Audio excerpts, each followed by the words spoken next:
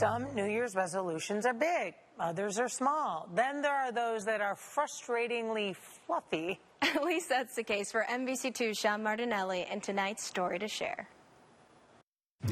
During this first week of 2024, I've settled on my New Year's resolution. And after much careful thought, it's not to hit the gym or eat healthier or save more money. My New Year's resolution is to finally settle my duvet debacle. I should probably explain. In 2023, I purchased a duvet as an upgrade to my decade old comforter. Everyone says stuffing a duvet is easy, but remember, I'm a 29 year old man who lives alone.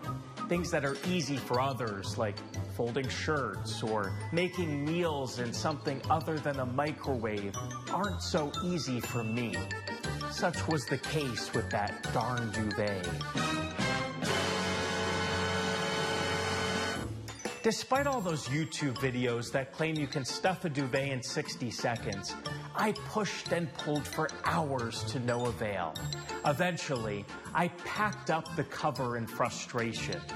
I pondered settling for a quilt or a sheet of newspaper. Every day since, I've been reminded of my failure, of duvet dreams deferred. But this year, that ends. While all of you are at the gym starting your new exercise routine or following your fancy diet, I will be sleeping in my perfectly stuffed duvet all day. And then I will wake up after the best, most comfortable rest of my life and embark upon a new mission to finally fold my fitted sheet. Sean Martinelli, NBC2.